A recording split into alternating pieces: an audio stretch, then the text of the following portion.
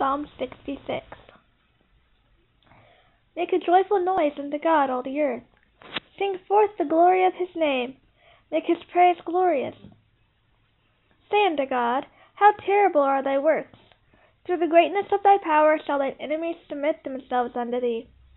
All the earth shall worship thee, and shall sing unto thee. They shall sing unto thy name. Selah. Come and see the works of God. He is terrible in his doing towards the children of men. He turned the sea into dry land. They went through the river on foot. There did we rejoice in him. He ruleth by might for ever. His eyes observe the nations. Let not the rebellious exalt themselves. Selah.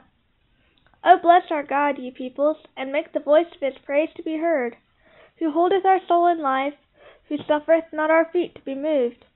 For thou, O God, hast proved us. Thou hast tried us as silver is tried. Thou broughtest us into the net. Thou laidst a sore burden upon our loins.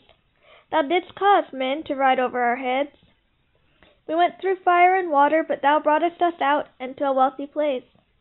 I will come into thy house with burnt offerings.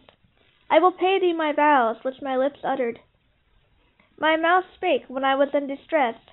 I will offer unto thee burnt offerings of fatlings with the incense of rams.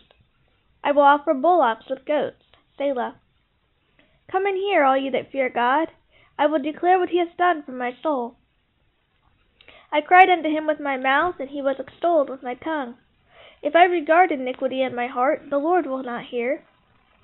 But verily God hath heard. He hath attended to the voice of my prayer. Blessed be God, who hath not turned away my prayer, nor his loving kindness from me.